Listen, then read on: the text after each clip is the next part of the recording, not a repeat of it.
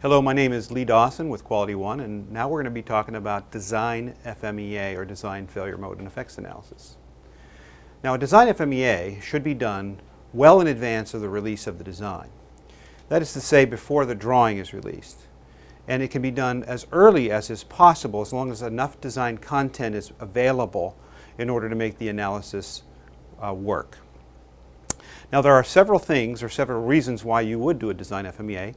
One of the obvious reasons is to improve the design, so to, to reduce risk of that design causing a problem in terms of performance to a customer.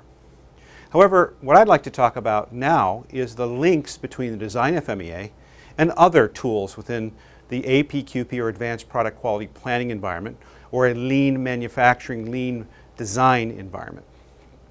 The first one I want to talk about is the design FMEA relationship to the process FMEA. Many people ask, why do I need a design FMEA before I do a process FMEA?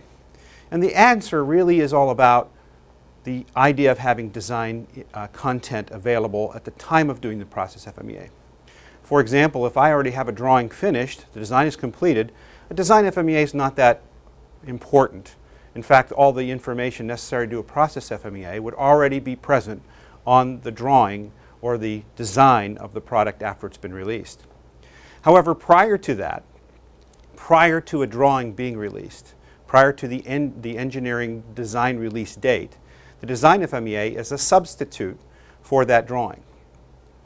As a substitute, it provides certain pieces of information that the process manufacturing individuals can use when designing their process to manufacture the product appropriately.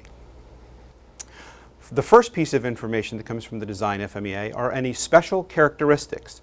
Special characteristics come from the cause column of the design FMEA.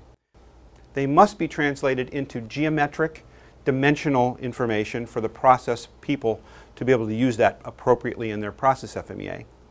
Another piece of information that comes from the design FMEA, along with that particular special characteristic, it includes the effects of failure, the severity rankings for those effects, and the failure mode itself. Each of those pieces of information are dropped into the process FMEA in appropriate columns. By making the link between the design FMEA and process FMEA, the characteristics that come from the design becoming failure modes at the process allows the link between the functional performance of the product and the manufacturing requirement of making the characteristics to blueprint specifications. In addition to that, the process folks now can uh, analyze the reasons why they could make it incorrectly, that is to say the characteristic being made outside of blueprint specifications, and they focus on what we refer to as the six M's, man, method, material, machine, measurement, and Mother Earth, or as we sometimes call it, environment.